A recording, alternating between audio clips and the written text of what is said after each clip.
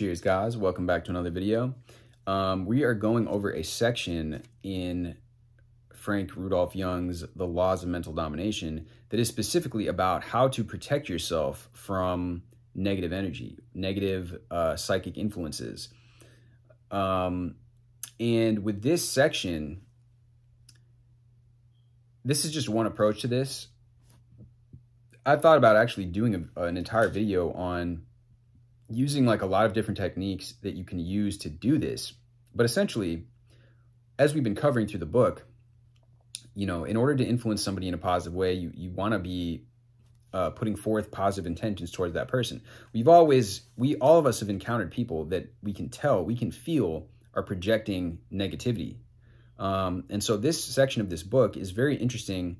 This goes into what we were talking about before about being transparent um, so that things just go through you or they bounce off of you, right? They're not going to affect you so much if you can engage in this. So I'm going to do this reading and then give my own thoughts and breakdown of it. And let's just get into it. So he talks about here um, civilized black magic in operation. Elsa, your neighbor, might despise you only because she envies your appearance, your position, your full crop of ravishing hair, your ready smile, your better self-care, or something else. She habitually thinks about you and wishes you harm or great loss. These steadily streaming thoughts, while not symmetrically marshaled against you, in themselves conspire to bring about the effects of black magic. Whenever you run into her anywhere, you feel uneasy and unwelcome, as if she wished to avoid you. You even harbor a feeling, and very likely a correct one, that she both thinks about you and discusses you at great length and disparagingly too with her husband. The staunchest soul cannot endure this steady battering of psychic poison day after day and not grow aware of it. Before long, you grow super sensitive about the situation. When a pebble bounces near you on the sidewalk, you swear it was hurled by Elsa. You feel increasingly unsafe and your very expression changes. Spiteful Elsa observes it, dislikes you all the more for it, and wishes you still more harm. The vicious cycle continues until it becomes impossible for you to live near her any longer and remain your calm, peaceful self. You have lost your sense of humor. You rage against Elsa and dread her, and you glare at her warily on the street. your appetite deserts you, and you are restless at night. Even if you don't waste away, your vitality will be sapped and your career and daily life suffer accordingly. If that isn't black magic, what is? How to neutralize civilized black magic. It is difficult to neutralize yourself against the steady stream of psychic poison emanating from Elsa unless you move from the neighborhood. Since you like that neighborhood, you have to make use of psychic self-defense. So I just want to point out the fact that uh, they're using, Frank uh, Rudolph Young here is using the same type of language that Don Miguel Ruiz uses in the Four Agreements. And he talks about when you take offense, when you when you feel these emanations coming from somebody, he says you have taken the poison in you. And what he, as well as Florence Scovel Shinn, advises um, to is to not be is to basically be unmoved by this. And now we're going to see and we, we've gone in previous videos i've elucidated on that on that process a bit in the in a video that i talked about with forgiveness and, and how you allow yourself to be more um, transparent so that this flows past you and it doesn't get get caught up. You don't get caught up with it. But it, here we're going to get frank rudolph young his take on it and how to kind of protect yourself against this negative psychic energy like he says. So, um, you have to make use, right. So waste no time or effort to stop Elsa's insidious thought forms from corroding your mind.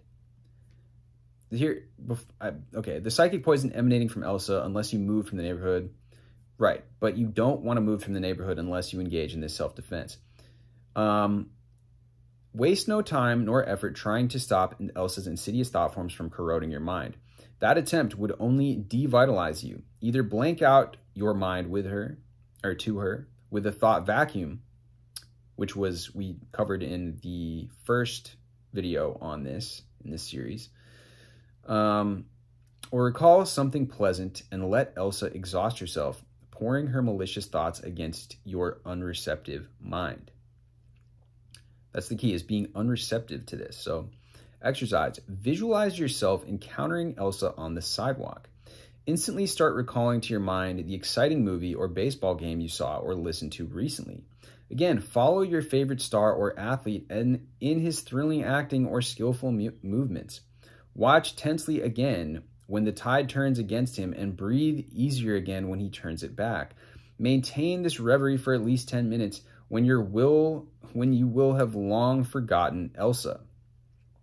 By engrossing yourself for about 10 minutes in this way, you won't leave yourself open to being upset for hours by her black magic after she has departed. The more sensitive you are, the more lonesome your life, the more such vexing situations will disturb you. So learn to neutralize them swiftly. Mastering and applying this exercise also keeps you from engaging in turn in resentful, fatiguing brooding against such a person. Practice this exercise until you can use it at will.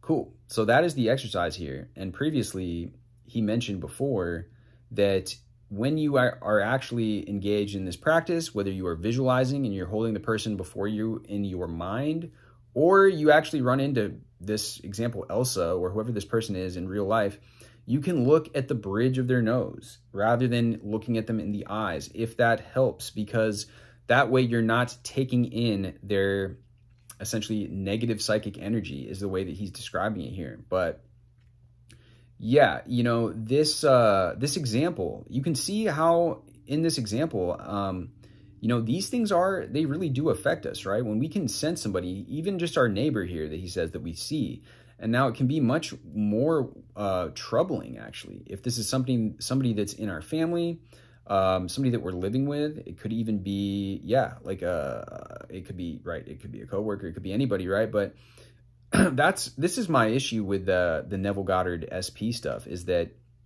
a lot of people have selected the wrong person. So if you are dealing with somebody like this, and there's literally you you know you may have entered into the relationship at a time where things were good or they seemed good, but over the course of time that goodwill corroded and there's no goodwill left, and you're in this relationship with somebody who's actively sending this psychic negativity your way doing these types of exercises and, and trying to you know just ignore it is just that's uh, why would you want to do that? Why would you want to be with somebody that like that? So my whole take on this is like yeah you know um, in those cases you're you're definitely going to want to do what you can. If it's a romantic partner yeah just you know you're going to want to leave. You're going to want to let that person fall out of your life. If it's a family member and somebody that you that's going to be harder for you to you know uh, removed from your life entirely, you're going to want to cut, limit contact with that person. You're going to want to make it so that, and then engage in these practices of, you know, uh, there's other practices that, like I said, I, might do a full on video because there's a visualization you can do, which is like cutting the cords of energy.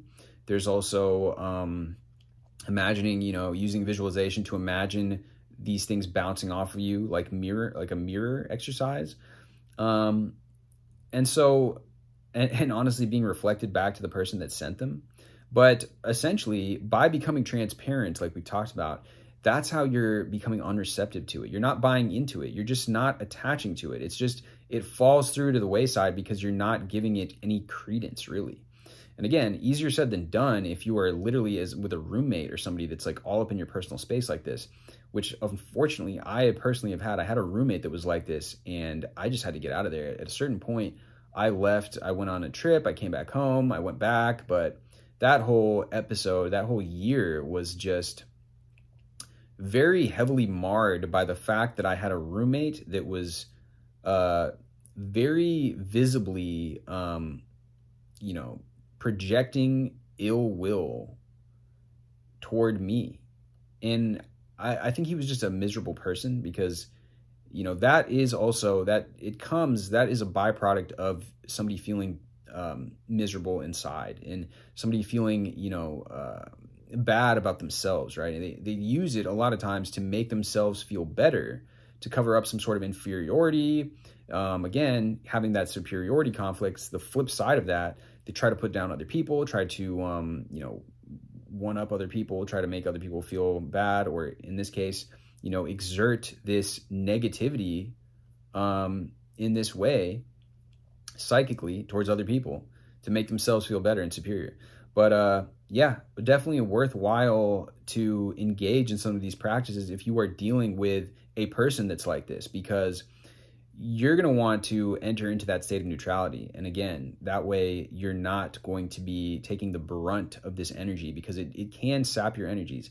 I've uh, experienced it personally when you're around people with these types of, with this type of negative vibe, right? Um, so anyways, guys, much love as always. Drop this down with a like.